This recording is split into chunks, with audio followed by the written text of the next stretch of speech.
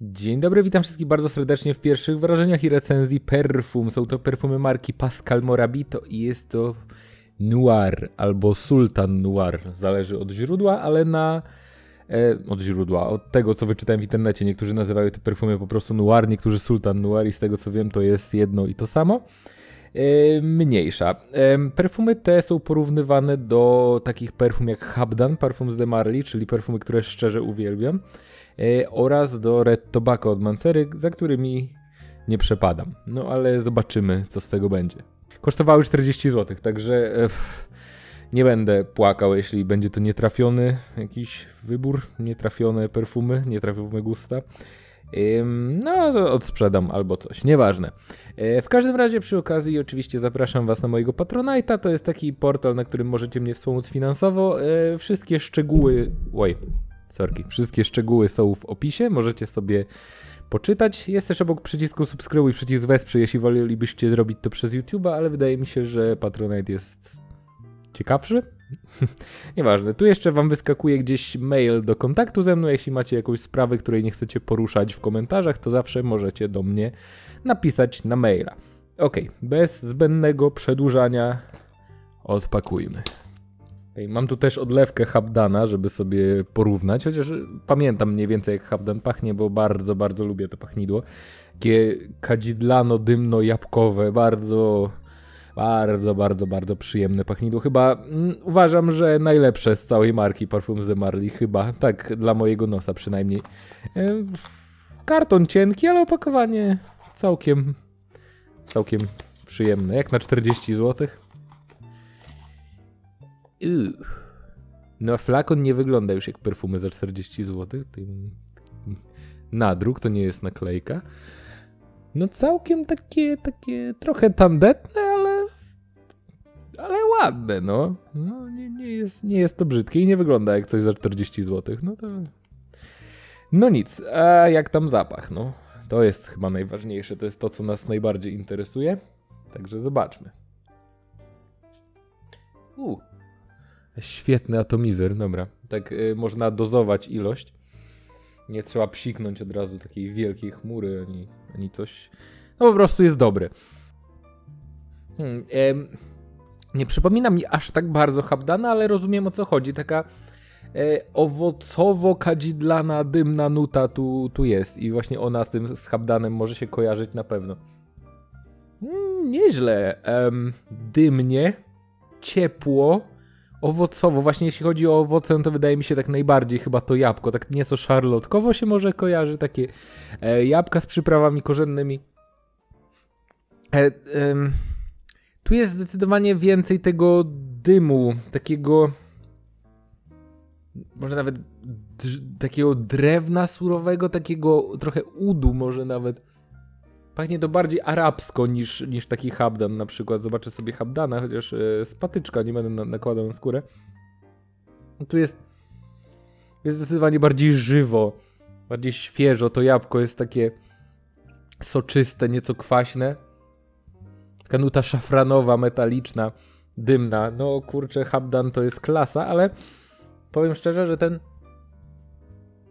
no ten Pascal Morabito jest naprawdę, naprawdę niezły i jak pomyślę, że kosztował 40 zł, no to i nadal kosztuje, z tego co wiem. Nieźle. Um, czuć też wanilię, czuć też, wydaje mi się, że benzoes, bo są jakieś nuty takie balsamiczno-waniliowe, nieco, nieco wchodzące w takie pudrowe tony, a tak delikatnie. Niezłe, aż psiknę sobie jeszcze raz, bo dałem taką małą chmurę, walnę mocniejszą. O, to jest psiknięcie porządne. Nie, otwarcie jest uf, alkoholowe jak cholera. Ale to tam nic takiego. No dobre. No brakuje mi, mówię, tej takiej soczystości, ale jest naprawdę niezłe. Nie przypomina mi jakoś specjalnie Red Tobacco od Mancery, na szczęście. Nie pachnie tak drażniąco, tak mocno. Wydaje mi się, że będzie miał w miarę umiarkowaną projekcję, co mi się bardzo podoba. E, nie wydaje mi się, że będą to perfumy jakoś specjalnie narzucające się. Jakoś mega trwałe pewnie też nie będą, tak mógłbym obstawiać, ale 40 zł, pamiętajmy. Dobra, e, sprawdźmy nuty. Już sobie wygoogluję tylko. Nuty według Fragrantiki to kadzidło i jabłko jako nuty głowy, cynamon, ud i irys jako nuty serca.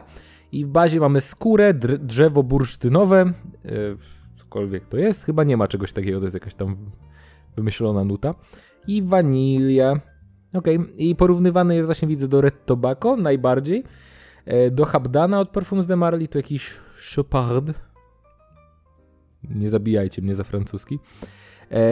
Ocean też e, Parfums de Marly. Ok, e, wydaje mi się, że nie jest podobny jakoś bardzo do żadnych z nich.